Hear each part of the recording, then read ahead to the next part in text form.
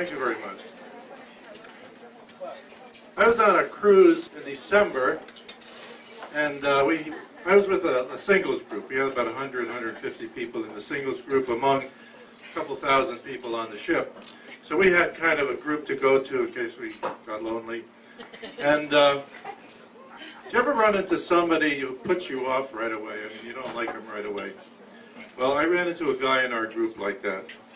And uh, I decided, I'm on vacation, I can be generous, I'm gonna, you know, engage this guy, see, you know, what he's like. I won't hate him for the whole trip. So we started talking, and I'm happy that I did, because this guy had a gift, and he bequeathed generously this gift to me. I'll tell you what it was.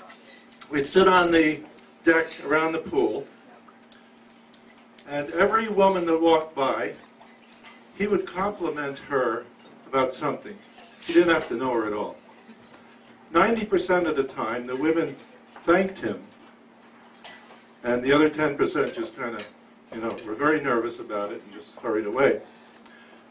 And he told me what his philosophy was about this. He said, what you have to do is you have to pick something, notice something about the woman. It has to be true.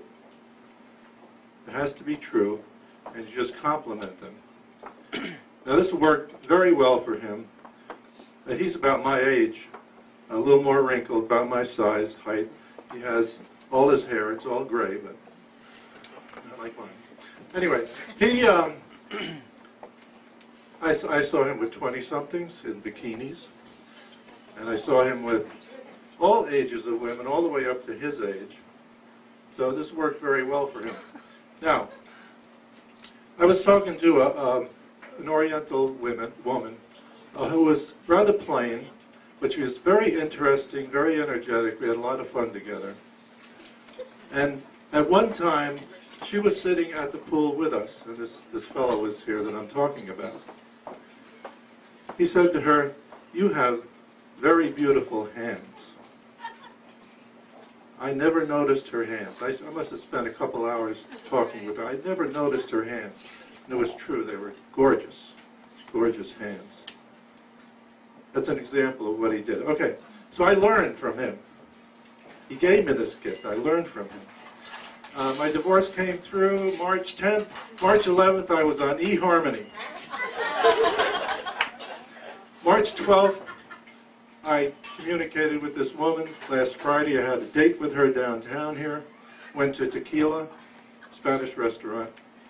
Then after that, after three hours there, we went to um, Rittenhouse Square Park to sit on the bench. It was just a, such a beautiful evening. Now, the one thing I noticed about her was her smile. I complimented her on that so many times. As we were sitting on the bench, another woman walked by. She didn't even slow down. She turned to this friend of mine. She said, I love your hair. So it doesn't have to be man to woman, could be woman to woman. Maybe, it doesn't even have to be sexual. Maybe that was sexual, I don't know. But, uh, so guys, I hope you got a lesson from this, and women too. Women can compliment guys, compliment other women, guys complimenting guys. Man, it works, let me tell you.